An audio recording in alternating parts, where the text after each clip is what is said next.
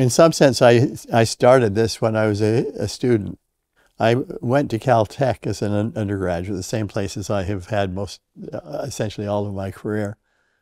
And when I arrived there, I discovered that my mind worked a lot more slowly than the other students' minds did. And uh, so I had to have a strategy so that when I learned something, I learned it better uh, and I wouldn't have to relearn it.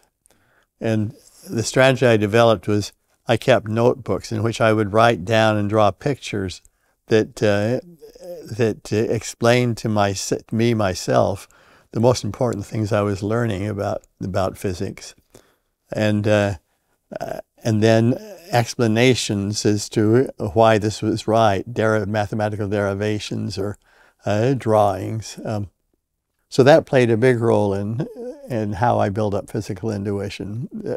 I was not consciously trying to build phys physical intuition this way, but I think it it played a significant role in it.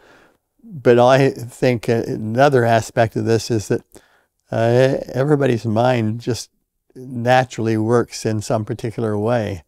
Uh, some people think in terms of pictures. Other people uh, think in terms of uh, uh, geometry. Some people have no sense of geometry, no sense of direction. I have an intense sense of direction.